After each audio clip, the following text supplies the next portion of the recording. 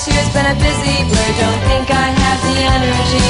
Red am I already mad rush just cause it's tis the season. The perfect gift for me would be completions and connections left from last year. Ski shop encounter, most interesting. Had his number but never the time.